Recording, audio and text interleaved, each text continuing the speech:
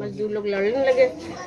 फिर उसके बाद ढाई फुट खोद के फिर बाहर गए लोग। बाहर अपना जो चाहे जो किए हम फिर आए उसके बाद। फिर आए आके पूरा गड्ढा खोदे।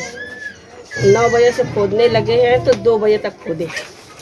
उसके बाद उनको पैसा दिया। बाहर जाके बोल रहे हैं कि चल जाने दे भोसड़ी वाले का अगर पैसा मिलेगा तो मिलेगा नहीं तो न मिलेगा कोई कब्जे नहीं है ना? ना बोले थे? फिर उसके बाद लड़का को भेजे हमने पैसा लेने। हो गया आधा घंटा लगा दिया पैसा लेने में। जैसे उन लोग गाली दिए वैसे हमारा लड़का लेके आ गया पैसा। उसको बुला के हमने पैसा दिया दो हज़ार गड्ढा खोदे उसके बाद चला गया वो। कितना तकरीबन कितना सिक्का रहा होगा? वो तो बता रहे हैं चौदह सिक्का। सुन रहे हैं सबके मुँह से चौदह सिक्का पाए थे। हम्म। उसमें से दो सिक्का हमारे लड़का।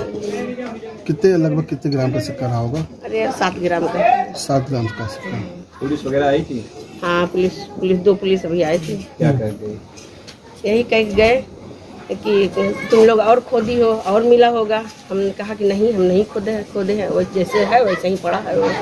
सात सिक्का हमको मिला था आप ले गए। अब हमारे पास कुछ नहीं है। अब वो मजदूर पास है। पुलिस वाले लेके गए हाँ पुलिस वाले लेके गए और कह रहे थे कि अभी मशीन आएगी सब जाँच होगा।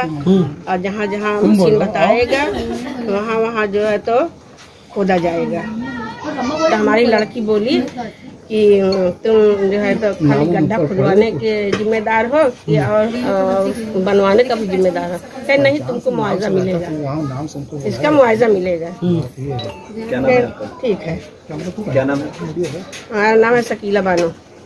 ये मोहल्ला कौन सा है? मोहल्ला कजियाना। मछली शहर का जिया मछली शहर कजियाना। सासरा बाबा के पास गली।